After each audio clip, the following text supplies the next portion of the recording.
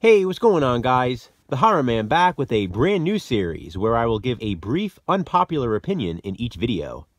I think it's a fun way to get the conversation flowing. This first episode is titled Shanks. I appreciate it.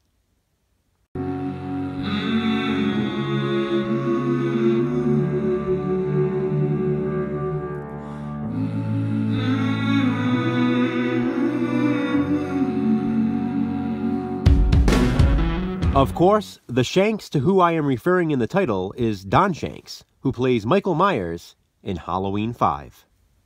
Now, you guys know how I feel about this film.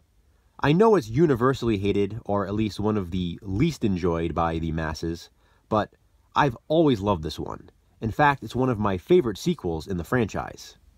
But the movie itself is not the topic of this unpopular opinion video. It's the performance of Don Shanks as Michael Myers. Much like the movie as a whole, his performance gets a lot of grief. You never hear anyone say, Don Shanks is my favorite Michael Myers. And I'm not saying he's my favorite either, but he is one of my favorites. I feel that with the exception of Tyler Mane in the Rob Zombie Halloween films, Don Shanks gives the most different performance. It's in his movements, the way he holds the knife, and I particularly like the way he sort of paces around instead of just standing still. There's actually an image on the back here. You can see him holding the knife. He sort of has his thumb up and he's holding the knife straight out like that. You know, there's that scene at the end when he's standing there with Loomis and he sort of just has the knife up in the air, you know, not moving at all, just sort of staring into nothingness.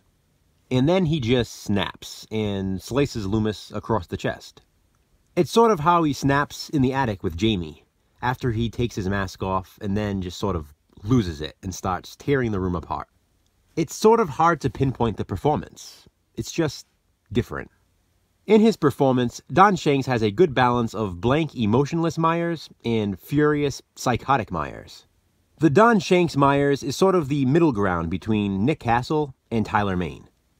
Nick Castle giving the blankest, most emotionless performance of all, which is a good thing, and Tyler Mane giving the most emotional performance, full of anger and rage. Don Shanks captures both of those in his performance in Halloween 5. But unfortunately, no one ever seems to give him credit for that. People seem to get hung up on the fact that they don't like this film, and they especially don't like The Mask. Well, like I already said, I love the film, and The Mask is honestly not that bad. Once again, it's just different. But I've always felt it does look rather sinister.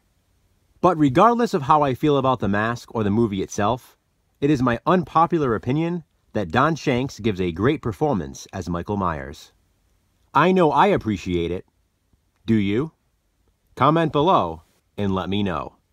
Thanks for watching.